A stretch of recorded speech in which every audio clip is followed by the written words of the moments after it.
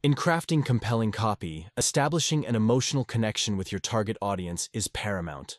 It's not just about bombarding them with facts. It's about igniting emotions that resonate with your messaging and product. Throughout our comprehensive course, we'll delve into the art of treating your audience not merely as consumers, but as individuals you want to genuinely engage with. Now let's explore five quick tips to elevate your writing skills. Firstly, remember that concision is key. In the world of copy, less is often more.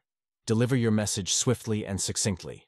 Next, familiarize yourself with idioms, those common phrases you hear every day.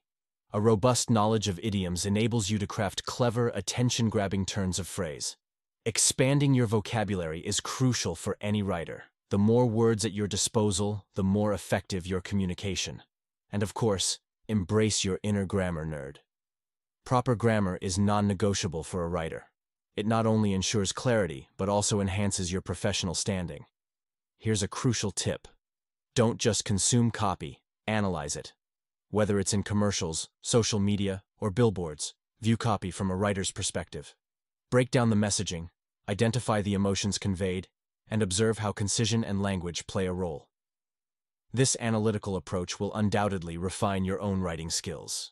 Now, to unlock the full spectrum of copywriting expertise, I invite you to join our Copywriting for Beginners course.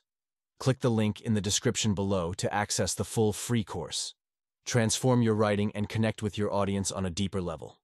See you in class.